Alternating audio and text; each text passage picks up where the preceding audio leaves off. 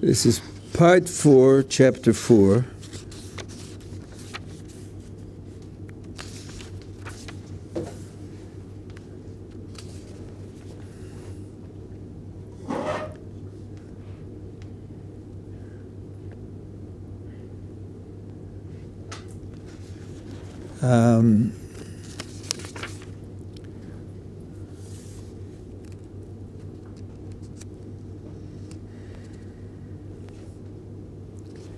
Up to paragraph seven.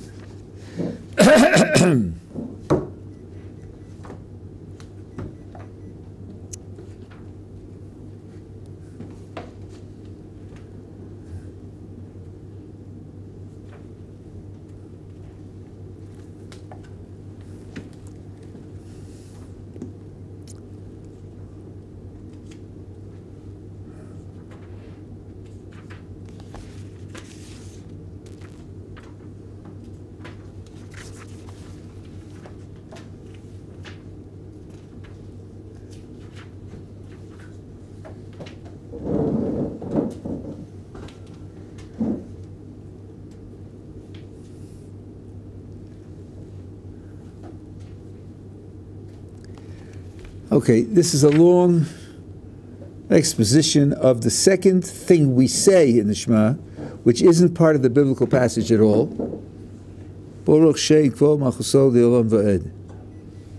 Blessed or praised is the name of the glory of his kingdom forever and ever.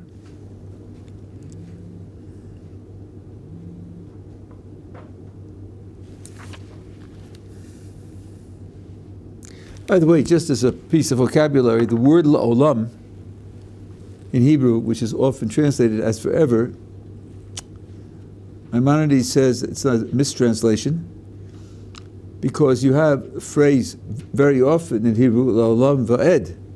What does the va'ed add if it's if la'olam is already forever? So he says only when it's la'olam va'ed or la'ad la'olam, when you have an addition to the word la'olam, is it really forever. Otherwise, it does not connote forever. So when you have, let's say, a Jewish slave, and the verse says, he shall serve his master forever, and the rabbis interpret that to mean until the Jubilee, and the incautious reader who's struggling along in English says, Well, Rabbi, it says forever, doesn't it? How could they put a limit on it, huh? Didn't the rabbis know what forget forever meant? Yeah, that's because you didn't read Maimonides. La olam doesn't mean forever. And the Chazal actually touch it as if it were poetry. La'olam shel Yovel, to the Olam of the Jubilee, which, which puts a, a limit on it. And as the Rashba says in the Tshuva, how could you take it literally? It says that the slave shall serve his master forever? Is the master going to live forever? Surely not, right? The master's going to die sooner or later. So you couldn't have taken it to mean literally forever. That's nonsense. Okay, just a little, a little detail. So this here says, Blessed is the name of God, the glory of God's kingdom. That means forever. Now, roughly, what is a name? What is a name? When I was uh, studying this about uh, 102 years ago, approximately, um, I was uh, learning and teaching American pragmatism in the university, and I happened to be studying Lahavdil, the, the Pri Tzaddik, and I found that the two of them have the same definition of what a name is. Uh, and I was quite, uh, one was Charles Sanders Peirce, the founder of American uh, pragmatism. I was quite interested to see. A name is a three part relation there's a thing, there's a speaker, and then there's an artifact which the speaker uses to talk about the thing. The name sets up a relationship between the speaker and the thing. Now, that's what it does functionally. Now, when you have a name, a name is part of your vocabulary, and you use it, what does the name mean to you? Now, what I'm going to say, if somebody knows the philosophy of the 20th century, is very controversial, and I'm aware of that. that Donnellan and Kripke and, and, and all the rest of them, but I'm not doing that right now. Roughly, for the user, the name connotes what he knows about the object that has the name. There's a lot about the object he doesn't know. There's something about the object he does know. When he uses that word, that word which for him is a label for that thing, what's going on in his mind is roughly what he knows about that thing. That's why we distinguish over and over again in our literature between the thing and its name. When we say the third blessing in the, in the Shemoneh Esrei, sound prayer,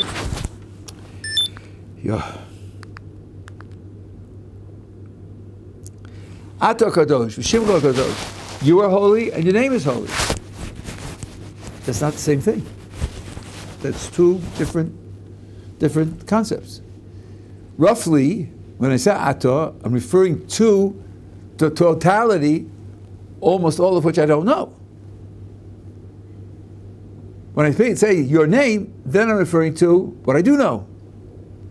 And then my attitude is, well, when I take the name, I'm speaking about the conceptions that I have, and I see that those conceptions are, are all uh, filled with holiness, the conceptions of aspects of holiness. But I know that the reality far outstrips my concepts. And when I say that you're holy, I mean to say that going beyond what I can understand and appreciate, holiness applies there as well in ways that I don't, I can't, I can't understand. But I don't want I don't want the, the, the mistake to be made that what I conceive of is the whole reality, there's nothing beyond it. That's a mistake. So here, when it says, uh, blessed or praised is the name of the greatness of his kingdom, we're talking about the part that's manifest to us. We're not talking about what goes beyond that. We're talking about the part, the part that's manifest to us. Now, manifestation is relative, relative to your who you are and what you are and what your station is. And he says in this paragraph that there are certain things, for example, that are visible to the angels that are invisible to us. We're, we are in a condition where our vision is temporarily obscured. Temporarily obscured. And in the meantime, they see things that we don't see. That's the reason why, for example, there's some praises we give of God, and we say every time we utter that praise that we're saying it the way the angels say it, because we're saying, left to our own devices, we would not be able to, to utter these words. We wouldn't know what they meant. We would not be able to take responsibility for the words. Holy, holy, holy, Kodesh, Kodesh, Kodesh, Hashem Tzvakos, Hashem of the hosts of heaven the whole world is full of his glory. That is a quotation from a verse in Isaiah where he saw the angels giving this praise to God. We say this many times in our prayers. Every time we say, we're saying it just as the angels say it. We mention that because on our own, we couldn't have taken responsibility for it. We're just saying what they say. Now, it's worthwhile. They have vision of something we don't have. They formulate it into words. We take it from them because it has their authority, and we use it to praise God. It's a wonderful thing to do. But we're very careful to say that we're doing it on the, on the basis of their, of their, um, their position, their perception. And having said that, I want to add a footnote, something which well, you know, I quote my oldest son often.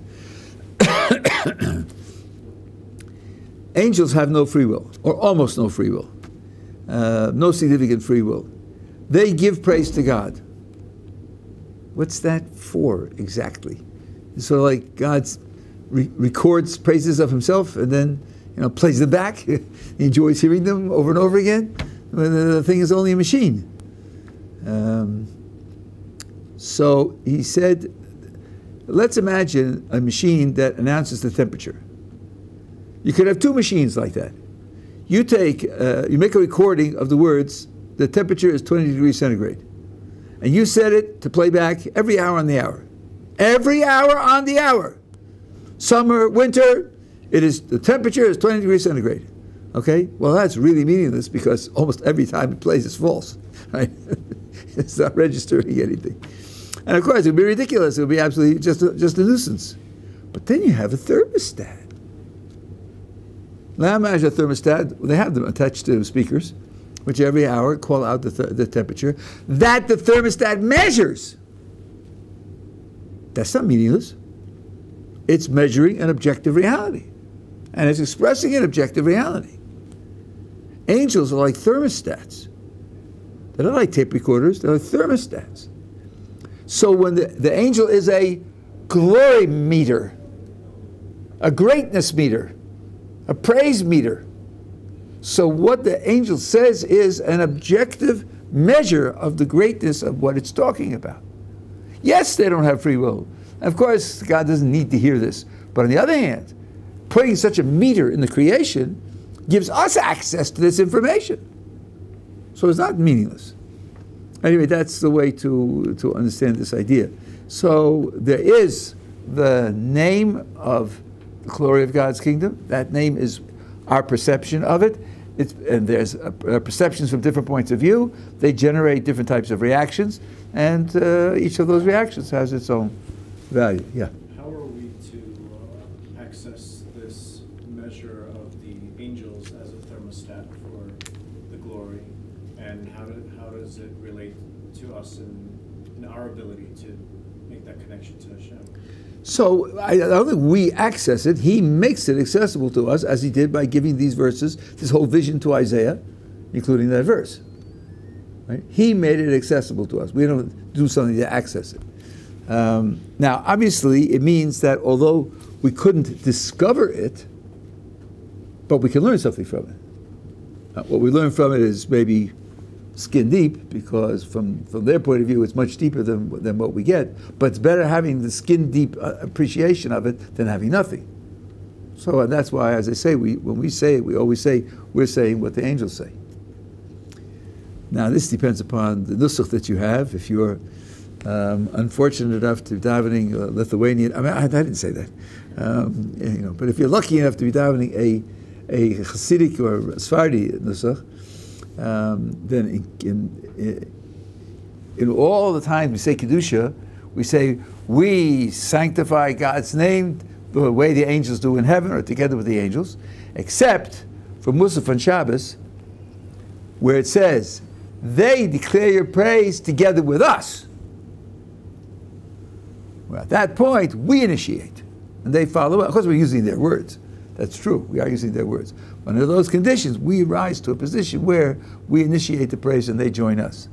I could hear that as a difference of opinion in, in, in metaphysics or in theology as to whether that really happens or doesn't. That's why you have the two different ways of, of saying it, the Ashkenazi way, the Sephardi way.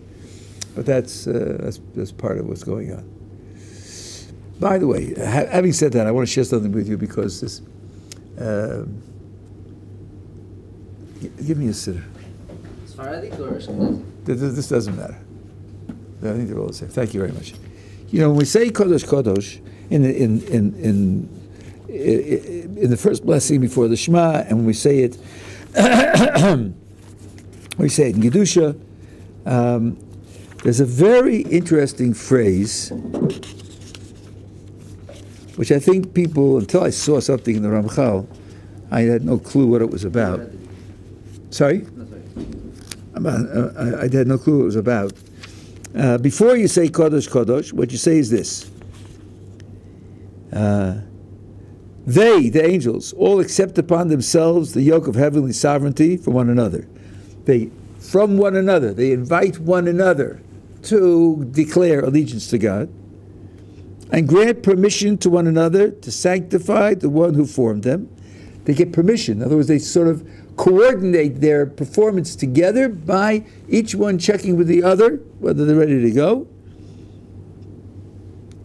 With tranquility, calm, clear articulation, sweetness, all of them as one. Proclaim His holiness. The picture here is of a, like a choir a choir with a conductor, and each one looks at the other and feels the other one's breathing, and everyone gives forth the melody uh, together, sweetly, clearly, calmly, with tranquility. Okay. Then, before we quote the verse from Ezekiel, the Ophanim, one type of angel, and the Chayas Kodesh, with great noise, noise! How did noise get in here? Great noise! Elevate themselves to be on the same level as the Srafim, and then they say, Baruch Kvod uh, uh, uh, Hashem Mimkomo. What happened here? How do we get to noise? Says the Ramchal in the Adir Bamarom. The noise here is the noise of gullus, of exile. This is a verse that's taken from Ezekiel. Ezekiel lived in Babylon. And Isaiah saw them in Israel, in the temple, the, the area of the temple.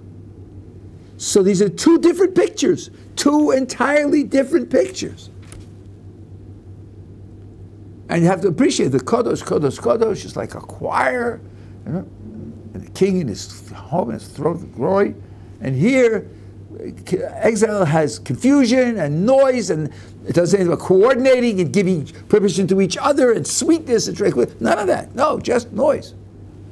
It's an entirely different picture. So we have to pre- appreciate these things change depending upon the condition that the Jewish people are in. This is what the angels say. But uh, what the angels say depends upon the condition that we're in also. Okay.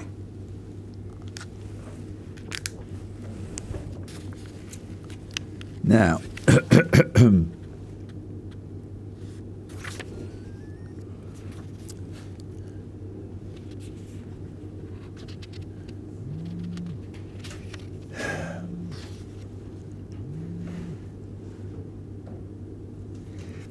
Now, the, the rest of the Shema, there are three paragraphs in the Shema. We have the first sentence that we talked about.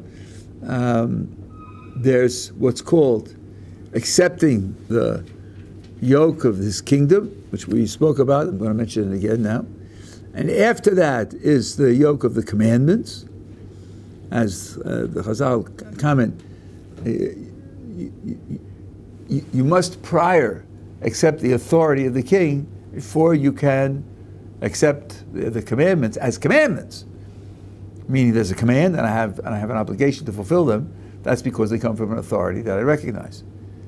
And then the third paragraph is the paragraph of, um, of remembering the exodus from Egypt. Now, the first thing that we are told in the Shema is to love God. With all your heart, with all your soul, and with all your. Now, sometimes it's translated might, but the better translation is resources, property. And there is a secret here. If you think about it, all your heart is taken to mean whenever you make a decision, whenever you set your priorities or your goals, or the means that you're choosing to achieve your goals, the topmost idea is what does God want? What does He want from me? All your soul means there are times when you have to give up your life rather than transgress. Someone says to you, kill Reuven or I'll kill you. Your answer has to be, kill me. I'm not, I'm not committing murder. I'm not doing that. Sorry. So, now imagine someone who loves God with all his heart and with all his soul, neither of which, by the way, implies the other. There are people whose everyday uh, behavior is impeccable, organized, focused, may say even perfect, put a gun to their heads and they go to pieces. They just can't die. They just can't do it. And on the contrary, you have people who, ah, Shabbos, next week. This week I have a date, scuba diving. I'll, I'll keep Shabbos next week. You know. But when the oppressor says, bow to the idol, says, I'm sorry. Shabbos yes, Shabbos no. I don't bow to idols. Period. You can kill me, I don't do that. In the Spanish Inquisition and the Portuguese Inquisition, you had people who, in their ordinary lives, were not uh, obviously outstanding, but they would not get, they would not commit uh, treason to the Jewish people, and they died. but now imagine a person who has both.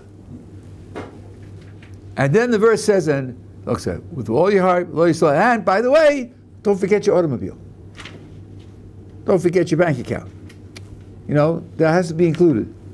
Isn't that anticlimactic? Isn't that an afterthought? Wow, how could you imagine someone who loves God with all his heart, with all his soul, and leaves out his property? How could that be?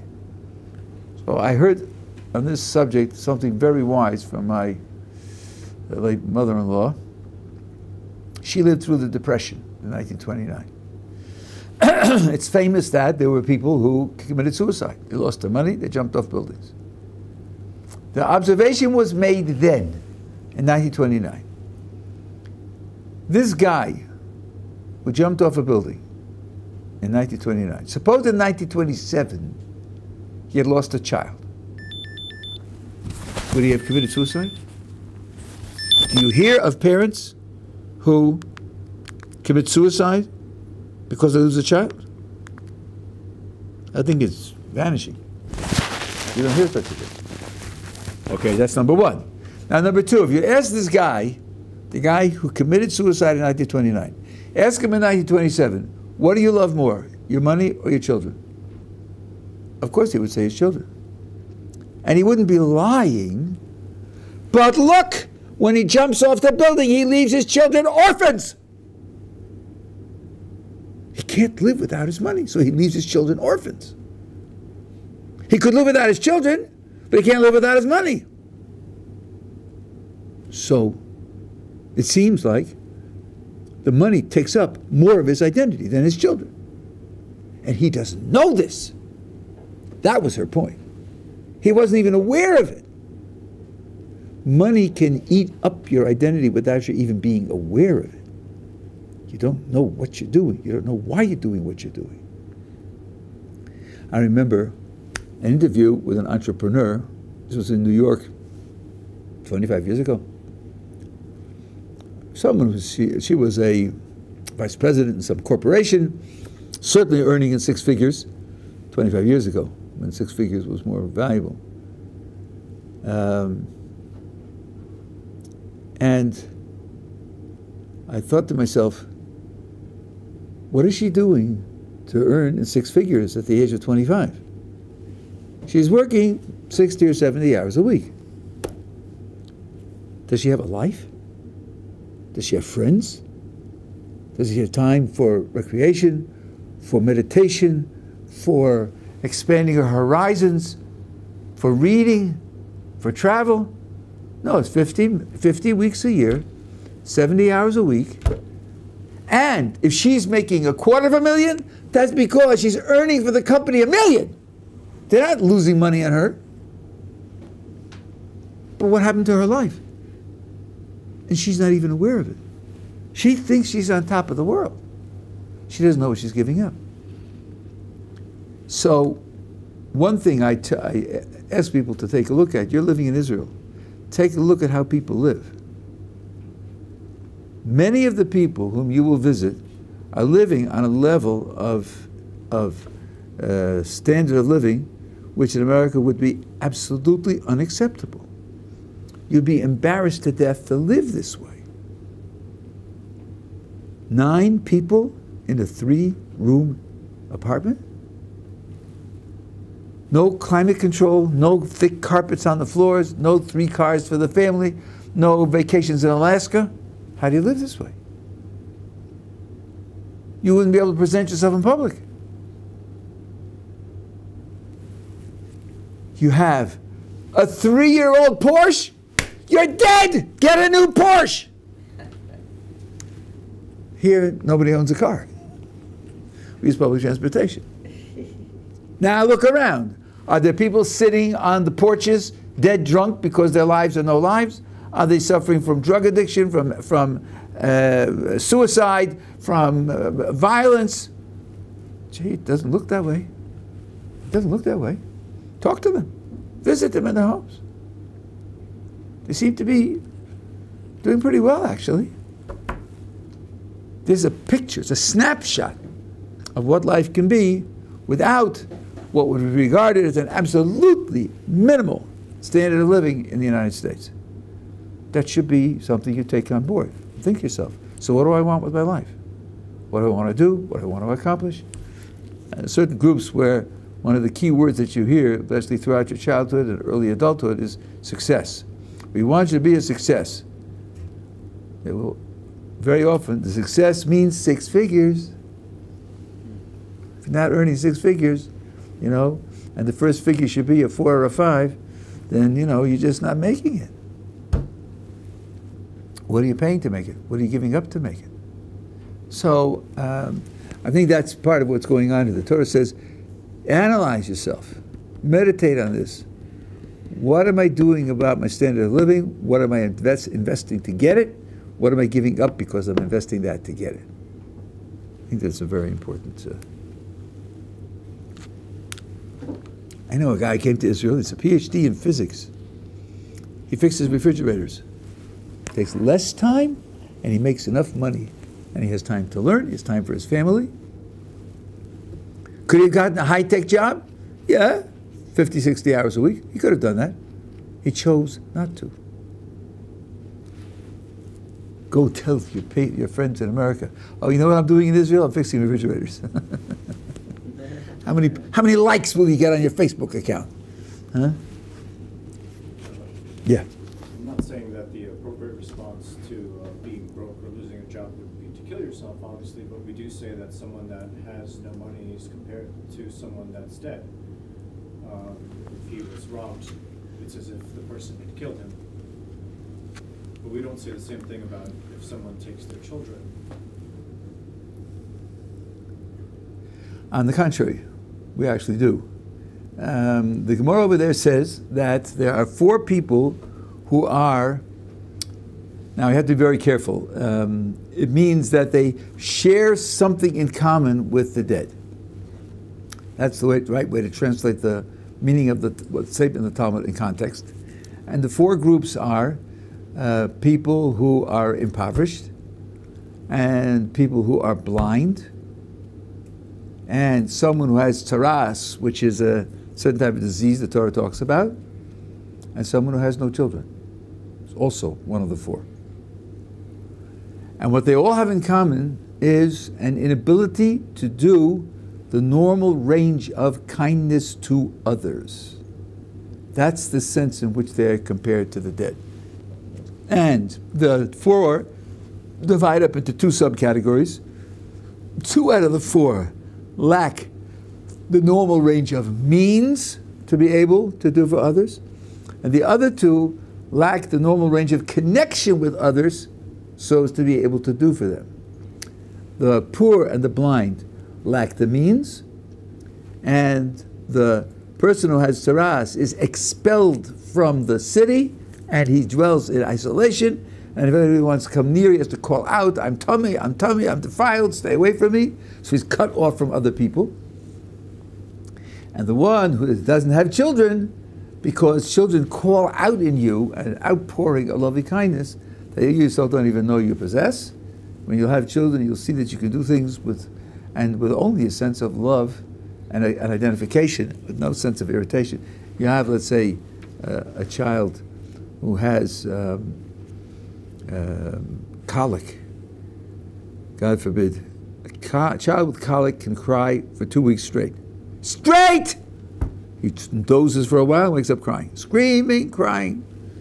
You pick up the child, you walk with the child, you carry the child, you sing to the child, you give the child a warm bath, you try to do for the child, and you don't think, how am I going to make it to work tomorrow? I'm going to be exhausted. Why do I have to put up with this? No, you don't think that at all. It's your child. So, indeed, that's the, the, the, element that they have in common. And that's why King David says in the 113th Psalm, which is the beginning of Hallel, uh, God picks up the poor and the impoverished from their position of poverty, to place them with philanthropists. A nadiv is a philanthropist. Yeah, it's translated in most places as prince, which is not too bad. But a nadiv is someone who gives. Because the spiritual curse in poverty is the inability to give to others. You don't have the resources to give to others.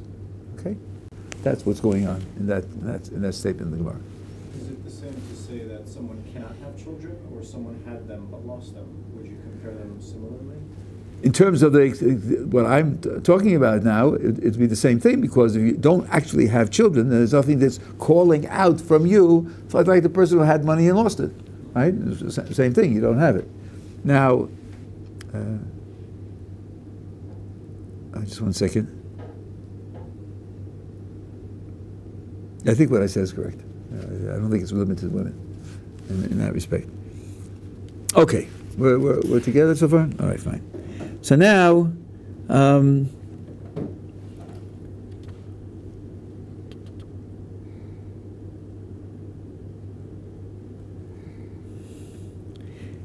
so it then says the words that I, that I commanded should be on your heart, and then you should transmit them to your children and all other descendants.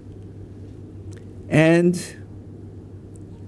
uh, here, the word in Hebrew, shinantam, can include transmission. It can include verbal transmission, but it really means more than that. It really means something like training.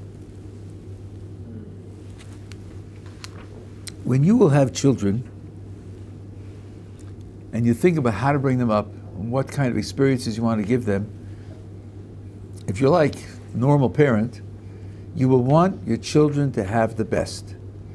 And you go through your experiences and you think, these are the experiences that built me. Or I see other people for whom these experiences were important and I want to give them to my children. I, I was born into the generation of people who were either immigrants or children of immigrants. And um, very few of our parents' generation went to college, but they saw that people who went to college did much better. That's what they saw, at least monetarily. And they sacrificed. We all went to college because our parents believed that they were giving us the best they could give us. Okay, so now you look at your own history and the things you've done, some things you would want to shield your children from, and some things which are uh, peripheral.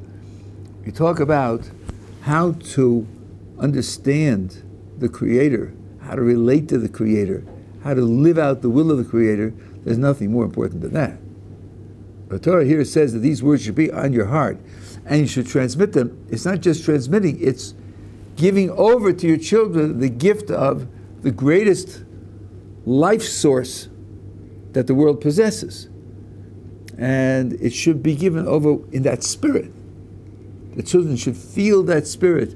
But Moshe uh, um, Feinstein, he lived in America through the, the 30s, the 40s, and there was the famous thing. People came to America, and uh, if you didn't work six days a week, you, you lost your job. That means a person that kept Shabbos every Monday was looking for a job. It was very, very difficult. There was one family where the father did that. He did that. He will not work on Shabbos, period. Friday night, he would come home, and they would have their Shabbos meal, and he would get up with his children and take their hands and dance in a circle, singing how precious it is to make sacrifices for Shabbos, to know that we're keeping Shabbos, how precious, and sing it with joy. And Rav Moshe said, that man's children will be special. There'll be something very special there because, because you know, there's a there's a, an expression in Hebrew, "Shver tzayin ayid." It's hard to be a Jew. They, they, the, the wise people of that generation said that those words killed a whole generation. If the parents are telling you over and over again it's hard to be a Jew, the child says, so why bother? Who needs it? It's so difficult. You know, do something else. He's saying it's joyful. It's joyful. Yes, it costs. But it's a joy to, to, to, to make the sacrifice. And by the way, I was brought up Reform, and I developed, as you can see.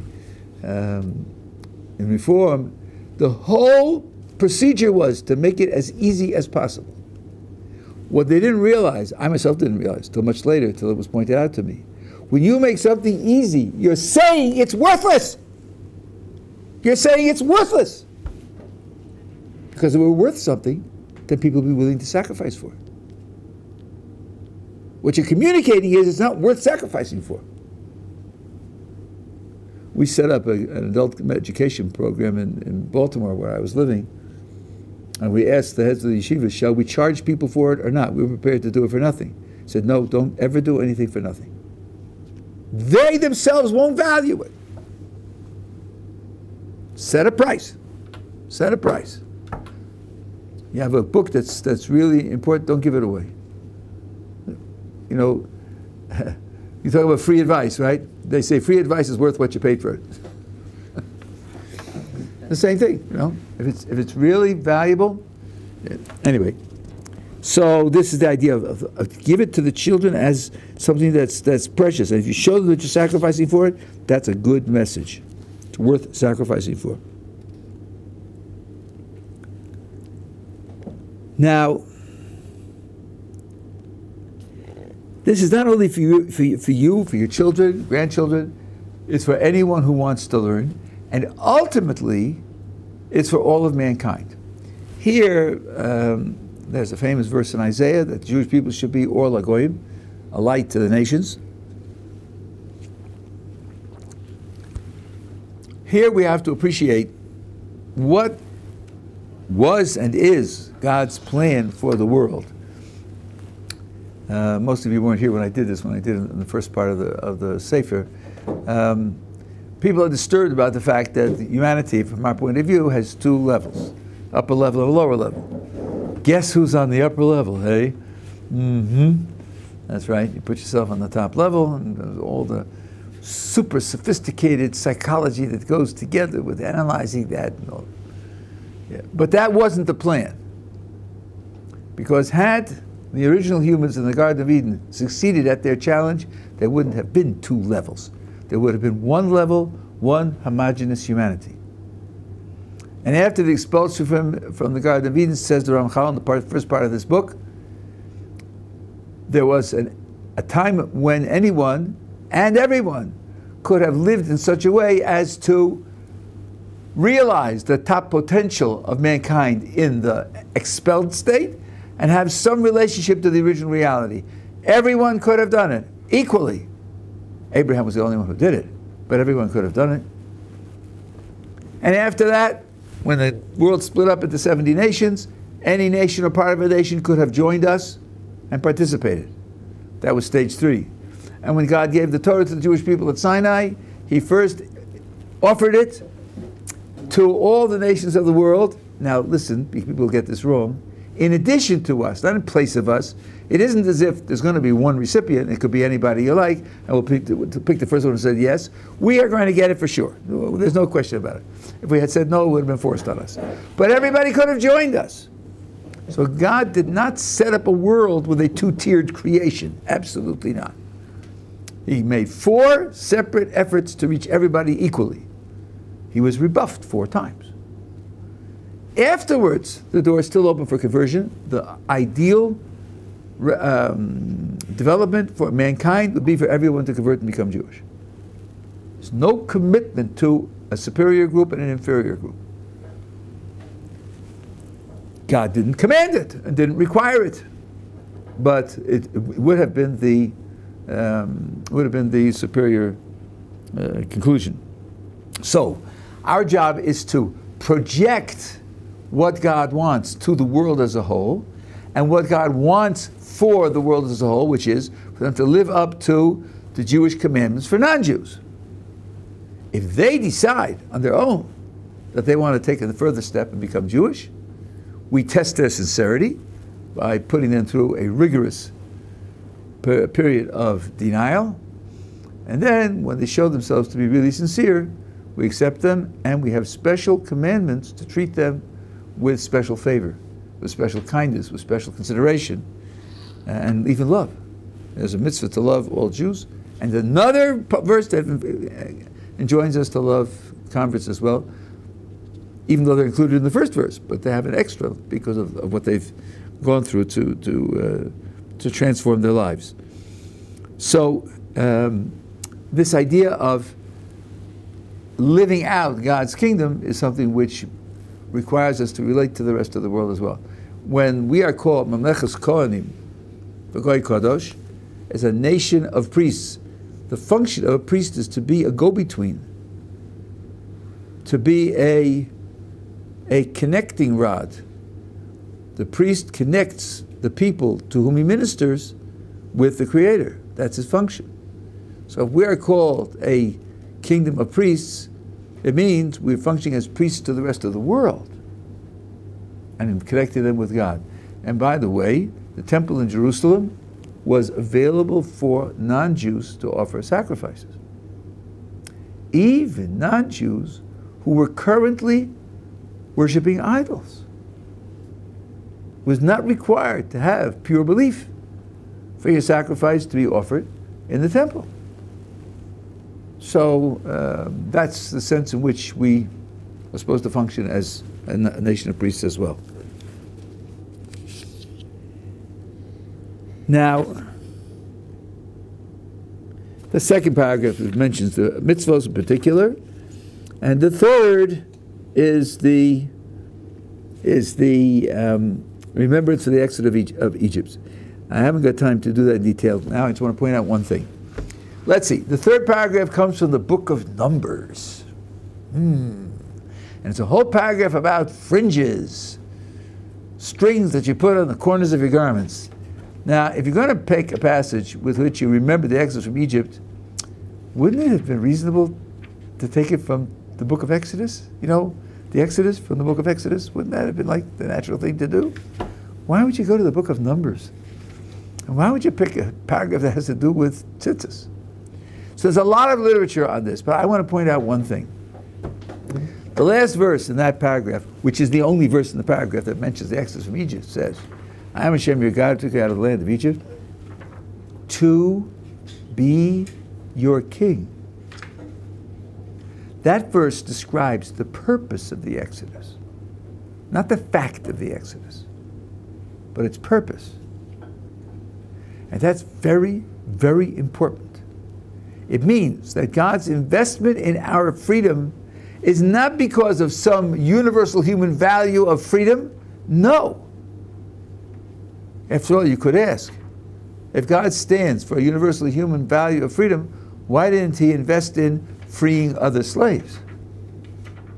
Indeed, you could ask, why did He only invest in our freedom temporarily? For the majority of our history, we haven't had an independent nation. Very often we've been enslaved, certainly brutalized and, and, and uh, punished by, by people among whom we live. Where's the investment in this universal value? No, the verse says, I took you out of Egypt to set up a certain relationship with you. That's why I did it. That's what justifies it. That's what justifies it. And if that's not the result, you don't live up to that relationship, then you lose the rationale of being free. And then I'm not invested in your freedom anymore. This raises the whole question of what is the value of freedom, which is a nice philosophical question. I have spoken about it. It's on tape in the various places where they collect my my uh, shiurim. Um, but our view is that the value of freedom is extrinsic. Freedom is a means to something else of value. There's no intrinsic value in being free. And this verse says it I took you out to be your God. Your freedom is an investment in this relationship with me. That's what it's for. That's what gives the freedom its value. And if indeed you don't live up to that, then your freedom doesn't have value and therefore it can be forfeited. A very powerful philosophical idea here. Maybe we'll talk about it a little bit next time. Okay.